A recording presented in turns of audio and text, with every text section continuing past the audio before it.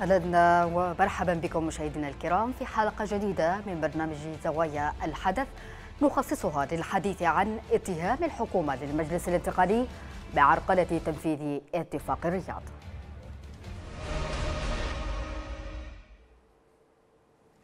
اتهمت الحكومة مجددا المجلس الانتقالي الجنوبي المدعوم إماراتيا بعرقلة تنفيذ اتفاق الرياض بعد مرور شهرين على توقيعه وقال المتحدث باسم الحكومة راجح بادي في تصريح لوكالة شنخوا إن من أعاق تنفيذ اتفاق الرياض هو الذي سطع على المليارات في ميناء عدن وهو من حرك عصابات التقطع في أبين وقام بعمليات الاختطاف في شبه. من جهة أكد عضو هيئة رئاسة المجلس الانتقالي فضل الجعدي أن المجلس لا يزال يعلق عمله في اللجان المعنية بتنفيذ الاتفاق حتى اليوم. نتوقف عند هذا الخبر لنناقشه في محورين. مستقبل اتفاق الرياض في ظل عدم التزام المجلس الانتقالي بتنفيذه. وما الذي يمكن للحكومة والتحالف عمله نتيجة رفض المجلس الانتقالي تنفيذ اتفاق الرياض. قبل أن نبدأ باستقبال ضيوف هذه الحلقة وقبل أن نبدأ نقاش نذهب مشاهدينا الكرام لمتابعة التقرير التالي. ماذا بقي من أمل باتفاق الرياض؟ مضى أكثر من شهرين ونيف على توقيع الاتفاق. ولم ينفذ من استحقاقاته سوى بند العودة المنقوصة للحكومة إلى العاصمة المؤقتة عدن والتي تشكل التغطية الوحيدة على فشل هذا الاتفاق. لم يصدر عن السعودية راعية اتفاق الرياض موقف ذي قيمة في مواجهة الفشل الذريع الذي مني به رغم مرور أكثر من شهرين على توقيعه إثر ضغوطات هائلة مارستها القيادة السعودية على السلطة الشرعية وبدلا من أن تمارس ضغطا مباشرا على الطرف الذي يعرقل الاتفاق أوعزت القيادة السعودية للرئيس هادي بتشكيل لجنة من مستشاريه لعمل ما يبدو أنه خطة موازية من شأنها أن تؤسس وفقا للمراقبين مسارا جديدا لاتفاق أريد له أن يشرعن لانقلاب جديد في عدن بعد خمسة أعوام من التدخل العسكري للتحالف في اليمن. كان يفترض أن يكون الخامس من يناير موعدا نهائيا لتنفيذ كامل بنود اتفاق الرياض وبالأخص انسحاب القوات وتوحيدها وترقيمها وضمها لوزارتي الدفاع والداخلية وتوزيعها وفقا للخطط المعتمدة وذلك طبقا للبند الثالث من اتفاق الرياض. لكن الذي حدث هو أنه لم يتم تنفيذ أي من بنود هذا الاتفاق. فبعد مرور 15 يوما من التوقيع لم تنسحب القوات من عدن ولم تتم التعيينات للمحافظين ومديري الأمن ولم تشكل الحكومة. وفي المقابل تصاعدت حدة التوتر في محافظات عدن وأبين وشبوة وتنامت وتيرة الاغتيالات والاختطافات والمواجهات المسلحة في المحافظات الثلاث فيما استغلت الإمارات وجودها في معسكري بلحاف والعلم في شبوة لإدارة الأعمال التخريبية بين تفجير وقتل واختطاف. وفي عدن يعمل رئيس الحكومة منذ عودته إلى المدينة ضمن بيئة أمنية تهيمن عليها الميليشيا الانقلابية للمجلس الانتقالي ومساحة حركة محدودة للغاية ليقتصر دوره كما نص الاتفاق على صرف المرتبات والإدلاء ببعض التصريحات الموجهة والمهددة لما بقي للحكومة من تماسك وفيما يواصل المجلس الانتقالي التصرف كسلطة أمر واقع في عدن يرى المراقبون أن رئيس الحكومة وبعض الوزراء المحسوبين عليه ينزلقون إلى حالة غير مفهومة من التماهي مع الأجندة الخطيرة للانفصاليين عبر إطلاق التصريحات المسيئة للوزراء المناهضين للاتفاق والتي تشكل بنظر هؤلاء المراقبين تغطية مقصودة لفشل الاتفاق ومسلكا تحريضيا على وحدة الصف في منظومة السلطة الشرعية المستهدفة من أطراف كثيرة بينها ما يسمى بتحالف دعم الشرعية. أهلا بكم من جديد مشاهدينا الكرام ينضم إلينا من لندن الكاتب والمحلل السياسي محمد جميح. مرحبا بك سيد محمد.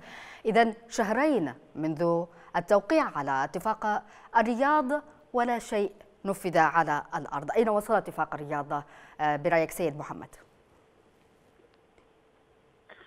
أنا أعتقد بعد التحية لك أن والمشاهدين أن الاتفاق أصلا يعني ولد بالإجبار وما ولد بالإجبار دائما يجد صعوبة في التنفيذ لأن النوايا لم تكن عندما ذهبت للتوقيع لم تكن نوايا تنفيذ كانت نوايا توقيع من أجل كسب الوقت والمماطلة. هذا واضح.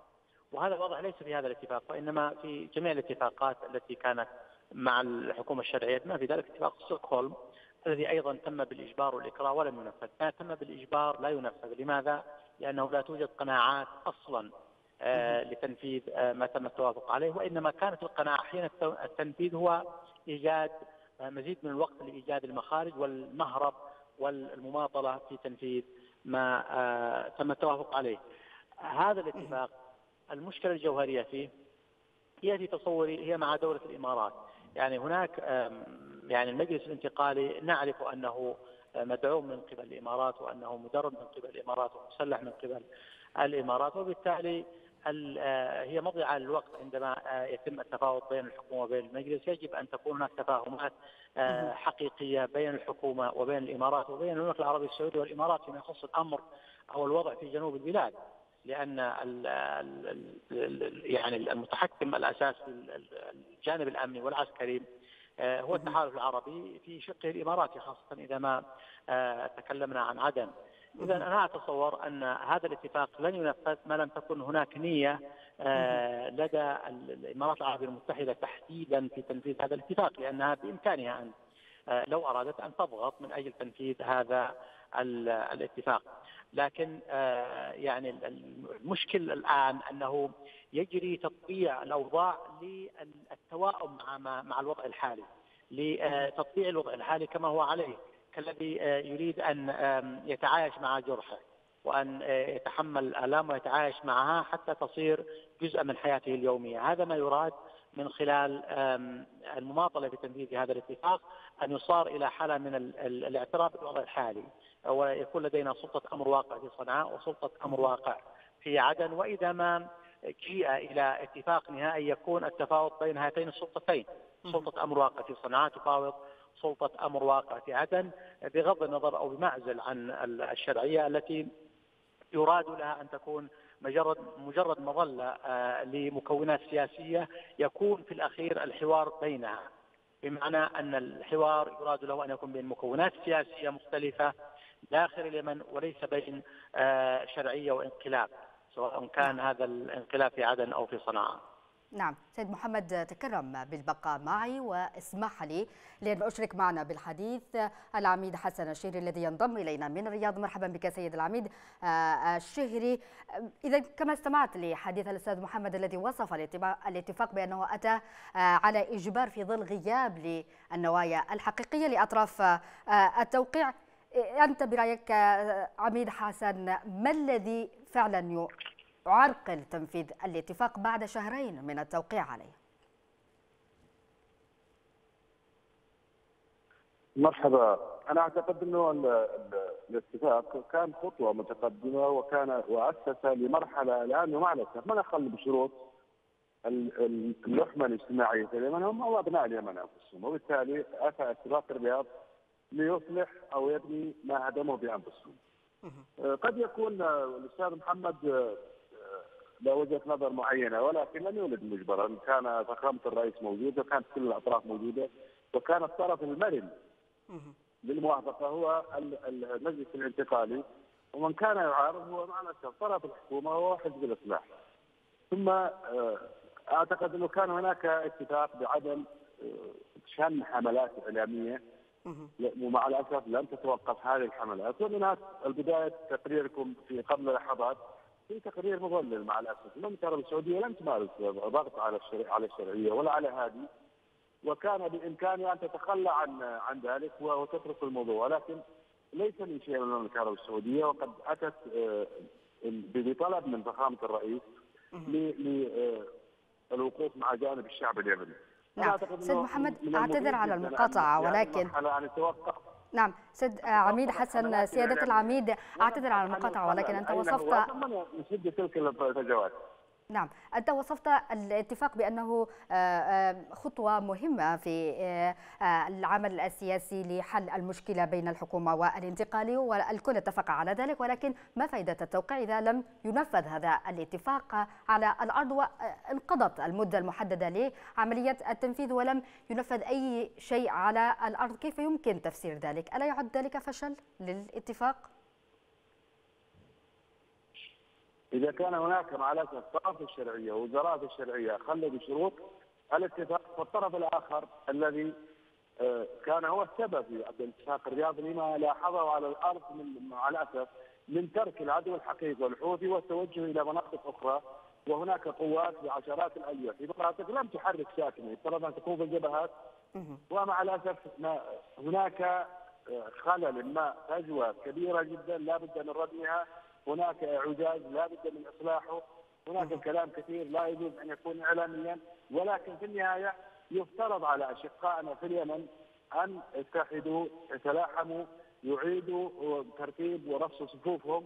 هناك عدو في صنعاء اسمه انقلاب يقود عزمة الحوثي يمثل جراء لإرادة المنطقة كان يقوده الهالك السليماني وبالتالي اليمنيين يبدو هناك شق في الشرعية. لا يود أن أن أن يذهب اليمن إلى إلى بر الأمان. نعم. إذا ما موقف السعودية الآن من آه، آه، ما الذي يحصل آه، بموضوع الاتفاق؟ التقييم السعودي لعملية التنفيذ وهي من دعت لمثل ذلك نعم ومستمرة ولكن لا بد أيضا من أشقائنا في اليمن لا بد من يتخذوا خطوات ما ما جاء وجود وزير النقل في تركيا والقيام بمثل هذه الأعمال. ما هناك تصريحات من هنا أو هناك من وزير الداخلية وهم أعضاء الشرعية ثم تتنصل الحكومة بحياء من من مثل هذا الكلام. هناك آه، مع الأسف من يلقي بظلاله على الازمه ليشعلها من جديد وبالتالي الخلل هو في الشرعية وليس في أي طرف آخر. إذا آه، سيادة العميد تكرم بالبقاء معي واسمح لي الآن أنقل هذه النقطة إلى سيد محمد جمح سيد محمد إذا العميد آه، آه، حسن يقول أن الخلل في الشرعية وفي ظل تبادل الاتهامات بين الشرعية والانتقالي من المسؤول عن تعثر تنفيذ الاتفاق؟ أنا أعتقد أن الطرفين يعني لم يذهبا إلى الاتفاق بنية خالصة لتطبيع الأوضاع. وبالتالي أنا أصر على القول بأن الضغوط مورست على الطرفين وأن الطرفين لم يستجيبا إلا بضغوط للاتفاق في في الرياض لأنه لا يمكن ابدا أن يذهب الطرفان بعد معركة بمحض إرادتهما لهذا الاتفاق. لا. هو بعد المعركة فرضت عليهما ضغوط كثيرة من طرفي التحالف المملكة العربية السعودية والإمارات من أجل الذهاب الاتفاق ولذلك لأن الطرفين ذهبا بغير نية تنفيذ هذا الاتفاق وصلنا إلى ما وصلنا إليه. لكن إذا ما جئنا لتوزيع المسؤوليات أو لتوزيع مسؤولية الفشل فأنا أعتقد أنه صحيح هناك يعني آه، بعض الوزراء يعني آه، ربما غردوا خارج السرب آه، ربما أيضا الوزير الجبراني ذهب إلى تركيا ووقع اتفاقيات من غير التنسيق مع رئاسة الوزراء وهذا ما ظهر واضحا في الفترة الأخيرة عندما صرح رئيس الوزراء بأنه يعني بأن الحكومة هي المسؤولة وليس وزيرا أو غيره في الحكومة. هذا خلل بنيوي داخل الحكومة اليمنية صحيح وداخل المؤسسة الشرعية.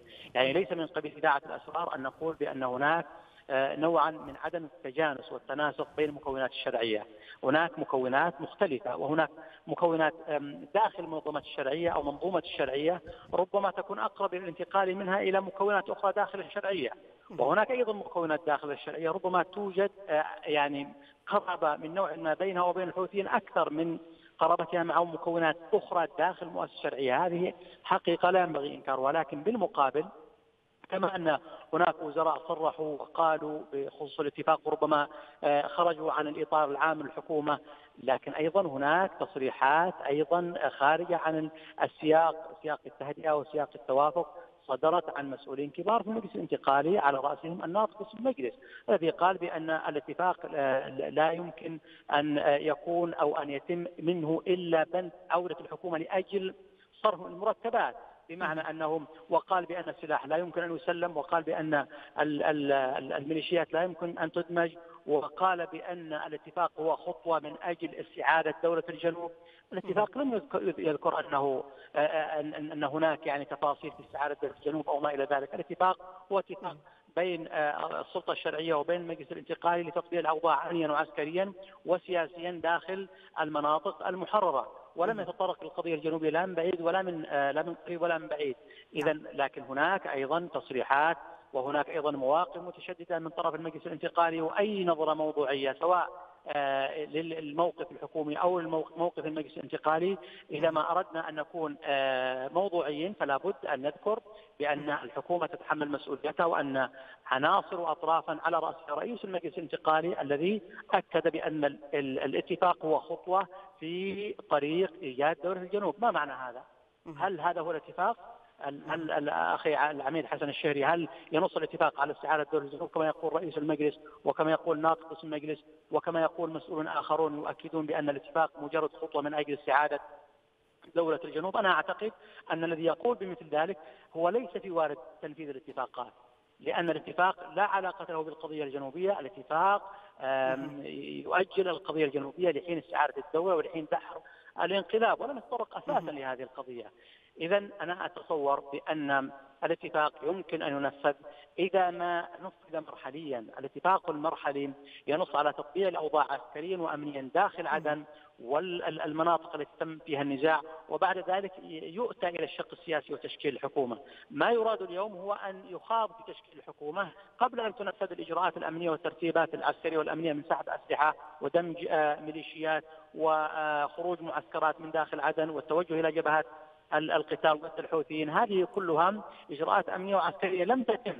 الاتفاق ينص على أن تتم هذه الاتفاق الخطوات ثم يأتي تشكيل الحكومة. لكن أن نضع العرب أمام الحصان بأن نشكل الحكومة ثم تذهب هذه الحكومة المشكلة إلى عدن تحت سلطة آه، المجلس الانتقالي قبل أن يتم إجراء الترتيبات الأمنية والعسكرية اللازمة قبل عودة الحكومة المشكلة أو الحكومة المشكلة من المجلس ومن الحكومة أو من الشرعية. أنا أعتقد أن ذلك هو مجرد آه، يعني آه، وضع الحكومة رهينة في أيدي الميليشيات اليوم.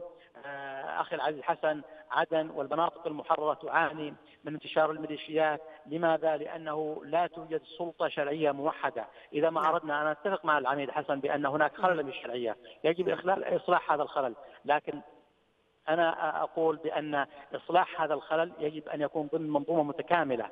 تدمج كل هذه الميليشيات سواء كانت في هذا الطرف أو ذاك ضمن سلطة شرعية واحدة موحدة لها وزارة دفاع موحدة ووزارة داخلية موحدة وهذا يعني تناغم جميع المكونات السياسية داخل مؤسسة الشرعية آه، نعم. دون أن يكون هناك أهداف أو أن تكون هناك مشاريع صغيرة لهذا الطرف أو ذاك.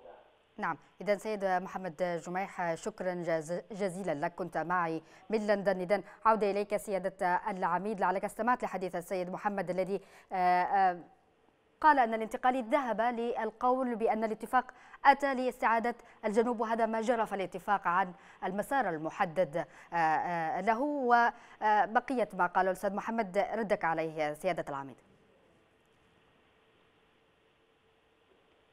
مع احترامي للأخ العزيز محمد وصديقه وأعرفه ورجل وطني و ولكن مع الاسف لا نود ان أن يأتي أحد من هنا هناك يشوه اتفاق الرياض.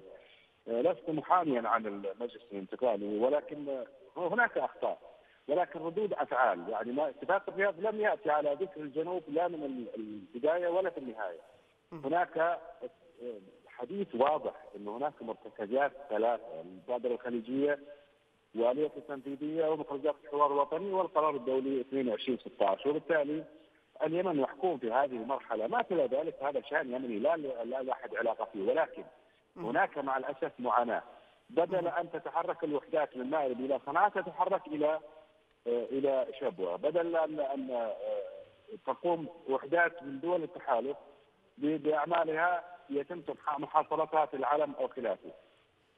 دولة الإمارات العربية المتحدة الشقيقة شاركت برجالها وبدمائها وبجهودها وكان دور كبير جدا في تحرير آه، آه، كثير من المحافظات مع الجيش السعودي مع المقاومة الجنوبية.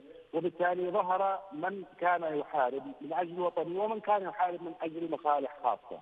أنا أعتقد أنه من يتحمل مسؤولية بالمقام الأول هي الشرعية. هناك مع الأسف أثناء وقبل تنفيذ الاتفاق من كان يشير إلى وقعه ونحن بعد التوقيع سنعمل على افشاله وهذه معلومات لا أحد يستطيع اخفاءها كانت واضحة للجميع. ومع ذلك تم الاتفاق وتم الاتفاق وهو اتفاق استراتيجي ونقطة تحول بل أنها منعت اليمن من الوقوع في مستنقع في بحر من الدماء. لا قدر الله في حرب أهلية والكل يمتلك كل المقدرات ولن يترك أحد حي من الطرفين كل سيدافع عن موقفه وهذا أمر جلال لا يمكن قبوله قامت عاصفة الحزم من أجل استعادة الشرعية وهناك أطراف الشرعية مع الأسف لا يودون أن تعود الشرعية، أنا أعتقد أنه فخامة الرئيس هو المسؤول.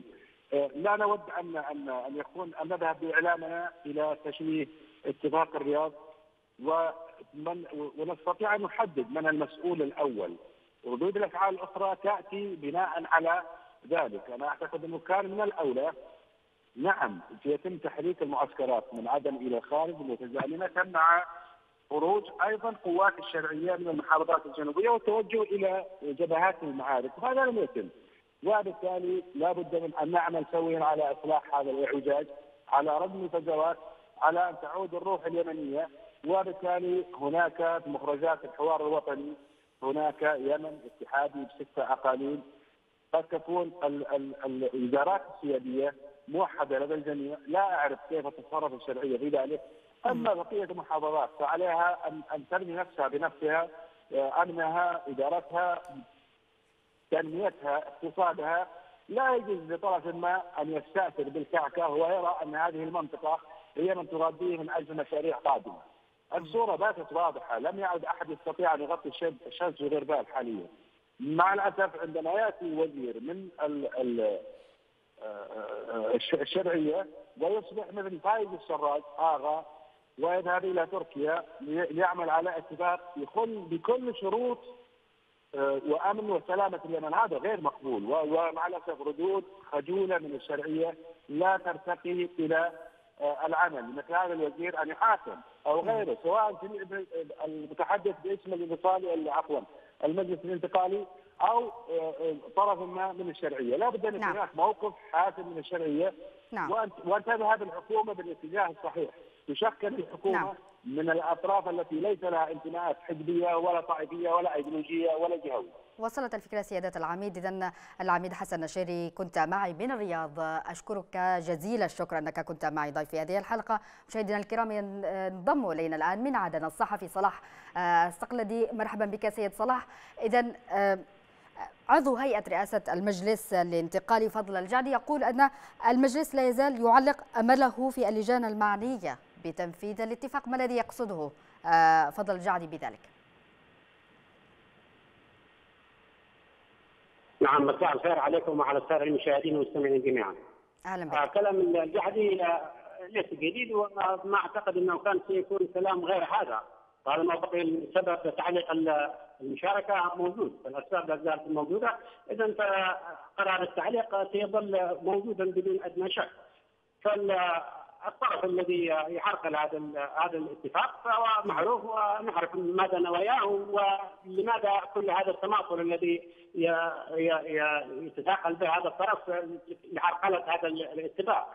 فالسؤال يجب أن ينتقل الآن ليس من الذي عرقل، فالذي عرقل هو واضح. بدون ادنى شك والعميد حسن الشاري من الرياض. لا أعتقد أنه سيكون آخر من يؤكد على حقيقة أن الطرف الطرف الحكومة هي الطرف المعرقل، سيكون هناك كثير من التأكيدات التي تأتي من خارج الطرف الجنوبي، هناك عندما يأتي الطرف عندما يأتي صوت من داخل السعودية وهي الطرف الذي نعتقد جميعا بانه محايد ويؤكد بأن الطرف الشرعيه وان طرف الحكومة هو الذي يحرقن فقد قضي الأمر في هذا الموضوع ويجب أن يكون السؤال هو لماذا تعرقل الشرعيه ولماذا تستمر في عرقلتها لهذا الاتفاق، الجواب ببساطه شديده هناك شقين في آه، هدف هذا لعرقله هذا الاتفاق وعدم تنفيذه، الشق الأول هو الشق السياسي ويتبنى كثير من الشخصيات داخل الحكومة ذو الميول ذو الانتماء الشمالي، أما أما الشق الثاني فهو عبارة عن آه، عباره عن اقتصادي ومالي لأن هناك كثير من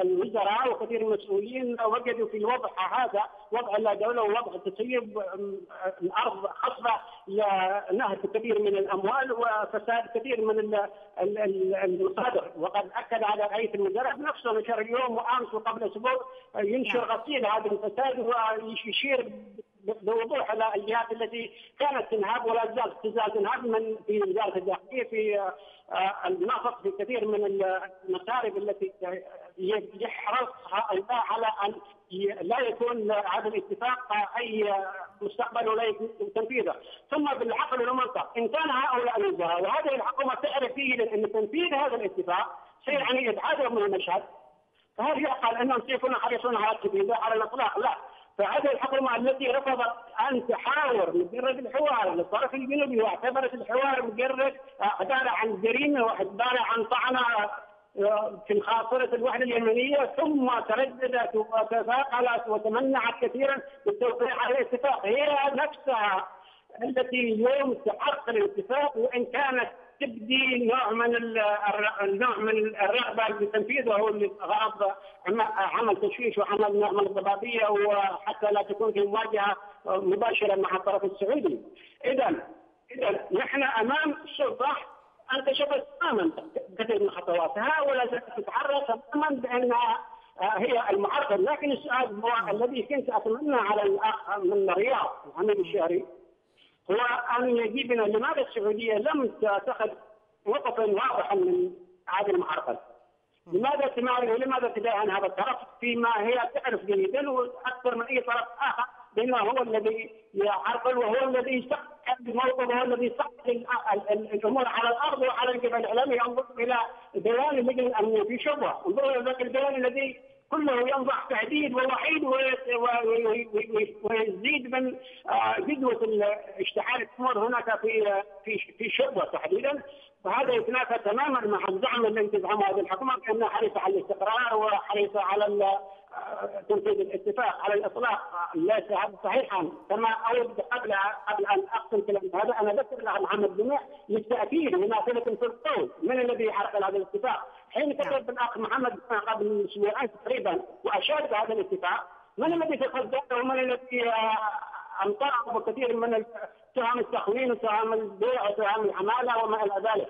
والطرف الحكومي الذي اعتبر ولا زال يعتبر كثير من داخل هذا الطرف كثير من هذا الاتفاق يأتي يسحب الشرعية من الحكومة. ويمكن الطرف الجنوبي من وضع رجله على على على على الدرجة الأولى من سلم نحو سعاده الجنوبية ويقوض هذه الحكومة ويعطي كثير من صلاحياته للطرف الجنوبي ناهيك عن الطرف السعودي أو ما يسمى بالتحالف فهذه الأصوات داخل داخل الشرعية تعبر بوضوح وبجلى على وهي تتكلم حقيقة بشكل رسمي وبشكل مباشر. نعم تعبر صراحة عن موقف هذه الحكومة وعن نيتها من عدم تنفيذ هذا الاتفاق. هذا فضلا عن ما نراه داخل هذه الحكومة من تشققات ومن تجنح داخلها. فهناك وزير يذهب إلى تركيا وهناك آخر يذهب إلى عمان وهناك آخر يذهب إلى الدوحة وهناك تصريحات من هنا وهناك يبدو لي في ان المشكلة الآن انتقلت ليس من من من طرفي التعالف الشرعية والانتقالي لا. هناك صراع داخل هذه السلطة. هناك سطور وحماء داخل هذه السلطة تفترسها وتقوض الجهود إن كان هناك من يريد هناك أصوات تحاول أن تنقذ هذا الاتفاق وتوجد طريقه للتنفيذ، لكن للأسف الشديد الصوت الصقور الآن الصوت الحالي هو الصوت الطاغي داخل هذه الحكومة. مما يؤكد مما يؤكد مجال الشك بأن نحن إذا طرف فاولا لا هو لا اغلبه لا يريد تنفيذ الاتفاق، ثانيا بأنه يتشظى من داخله وتنهش كثير من الاجنحه والفساد ينهش من هنا والتطلعات والهواجس السياسية تنهش أيضا من طرف آخر. وصلت الفكرة سيد صلاح صقلدي كنت معي من عدن. شكرا جزيلا لك. إذا مشاهدينا الكرام بهذا نكون وصلنا إلى نهاية هذه الحلقة. لا يسعني بالأخير إلا أن أشكر ضيوفي. كان معي من لندن الكاتب والمحلل السياسي محمد جميح وكان معي من الرياض سيادة العميد حسن الشهري وكان معي من عدن الصحفي صلاح الصقلدي أشكركم أيضا مشاهدينا الكرام على حسن المتابعة والشكر هو موصول لكم من زميلي معد هذه الحلقة الزميل عبد الرقيب الأبارة. نلقاكم على خير في حلقة قادمة. كونوا في أمان الله. إلى اللقاء.